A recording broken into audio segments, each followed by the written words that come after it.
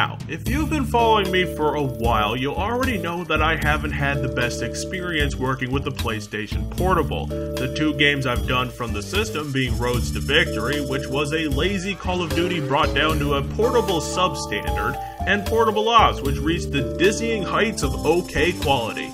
Now we've come full circle and are looking at Metal Gear Acid, a card-based stealth game. It's a cobbled together genre that really hasn't been done before, and there are good reasons for that because Metal Gear Acid suffers from the same problems after it decided to have the card focus.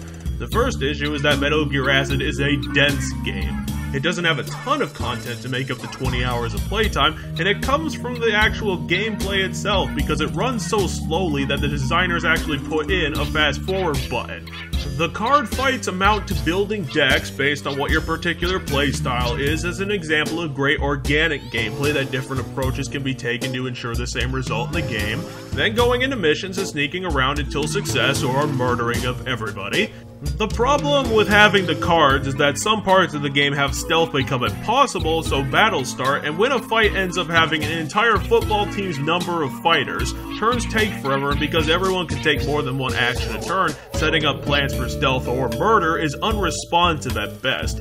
Then there are the parts of the game when you've killed everyone in sight and then have to wait by yourself for several turns to pass before you get to your destination. And this ends up being worse when the duo player is added because you have to constantly flip back and forth just to end up moving one person there wasn't a lot Kojima Productions could have done to get around these problems because they were inherent in any game that wanted to use a card system for movement and combat, but the game makes up for that by having one of the best mystery plots of the entire series.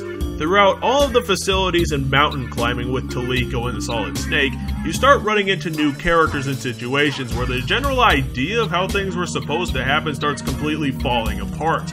Originally, they were both sent in to recover Pythagoras, some sort of experimental drug or something to augment battle effectiveness, but after we learn about Leon's petty plans for revenge against the US military for being slightly wrong, LeClown's involvement as a mindfuck betrayal, Hans Davis's existence as a doppelganger, and being tricked into giving Pythagoras away to Fleming so that he can fire Metal Gear that was built here all because Lobito Island was the stage for the Neoteny project, the plan to create psychic children because, as we've learned from Armacam, that idea can never go disastrously wrong.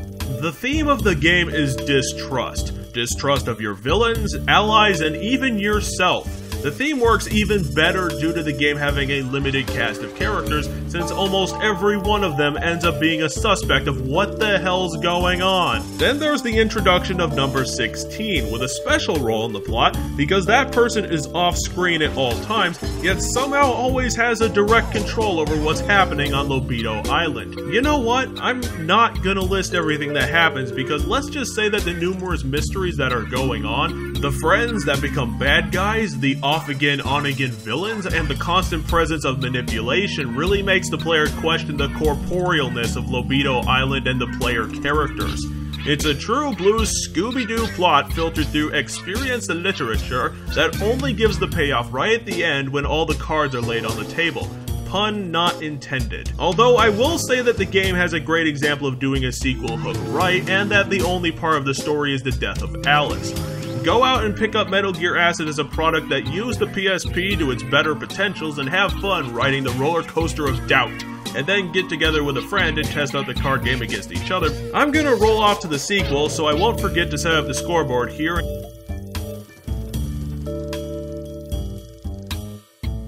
And give you guys a victory for gamers.